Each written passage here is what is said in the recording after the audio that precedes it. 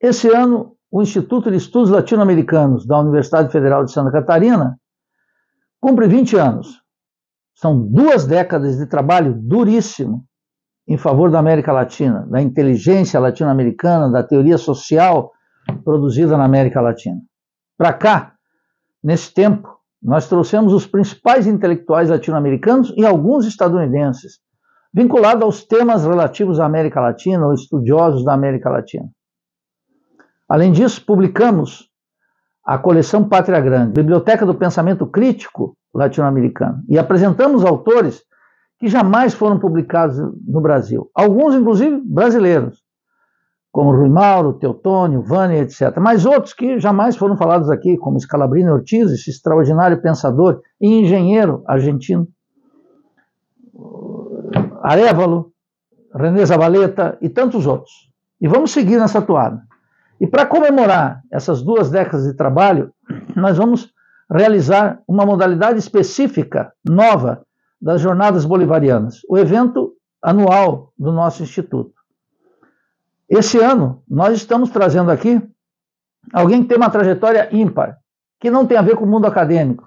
Embora seja um intelectual culto, extremamente sagaz, capaz de observar as tendências e exercer aquilo que, para nós aqui no Instituto, é o mais valioso: a crítica a tudo e a todos. Estou falando de Antônio Risério, e nós vamos discutir com ele aqui. Ele vem aqui em Floripa lançar o seu último livro, Em Busca da Nação. Esse é um tema da mais alta relevância para nós. Por quê?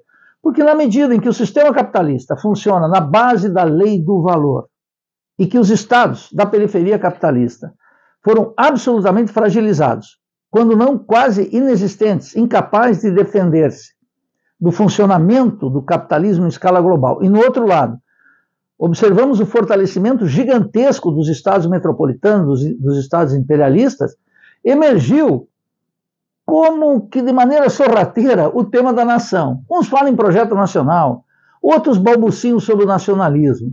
E nós precisamos fazer uma reflexão profunda com alguém que acumulou conhecimento, crítica sobre o Brasil e sobre as questões de cultura, Estado, classes sociais e ideologia entre nós.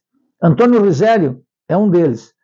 E como aqui no Instituto nós temos o hábito de chamar os intelectuais e mesmo os acadêmicos para atividades públicas, Rizelli vai dar uma conferência sobre o livro.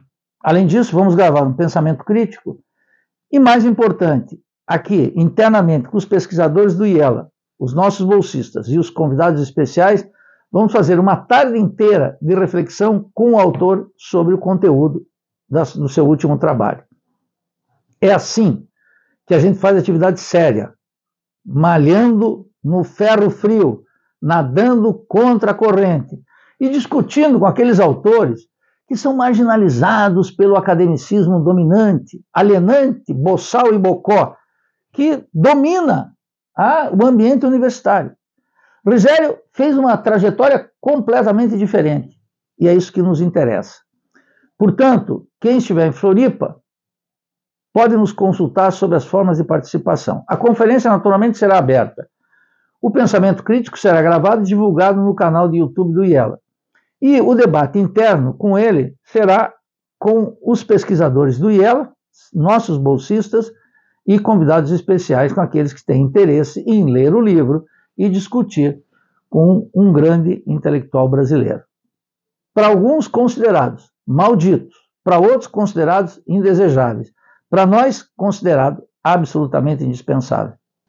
Como parte das atividades dos 20 anos, vamos lançar também a última obra da coleção Pátria Grande, Guatemala, Império e Democracia, do ex-presidente guatemalteco, filósofo, culto e homem lúcido sobre as possibilidades da democracia num país dominado pelo imperialismo. É uma reflexão profunda sobre a Revolução Guatemalteca de 1954, que culminou com a derrocada do governo de Jacob Arbenz e a inauguração de uma longa noite de terror patrocinada pelos Estados Unidos e pela classe dominante guatemalteca.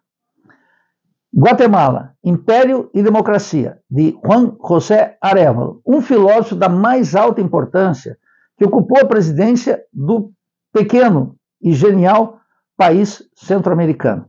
Uma reflexão muito importante para os dias atuais, aqueles que supõem que pode haver soberania ou democracia num continente dominado pelo imperialismo estadunidense. Ora, essa é a visão liberal que reproduz a ideologia do Partido Democrata dos Estados Unidos e traz sérios danos para o nosso país. A propósito, o filho de Juan José Arevalo acabou de ser eleito presidente da Guatemala.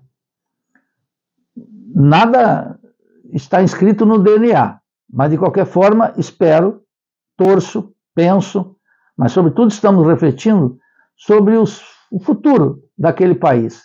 A partir da experiência luminosa da caneta, da pluma, dos vários livros publicados por esse filósofo, também desconhecido das letras brasileiras e, sobretudo, do academicismo, que é Juan José Arevalo, um pensador extraordinário que foi convocado pelos estudantes guatemaltecos quando era professor de filosofia em Tucumã, na Argentina, para concorrer à presidência. Quer dizer, essa ideia de que intelectuais não podem ocupar espaços é, públicos e, sobretudo, a disputa pelo poder apoiado nas amplas massas, não nas classes médias, não na classe dominante, não em namorico com o imperialismo e com o Partido Democrata, é uma longa experiência latino-americana.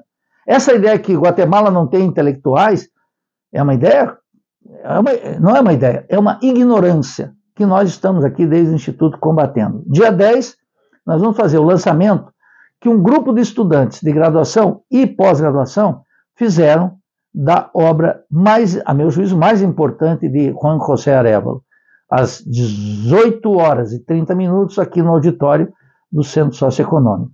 Divulgue, participe e venha conosco.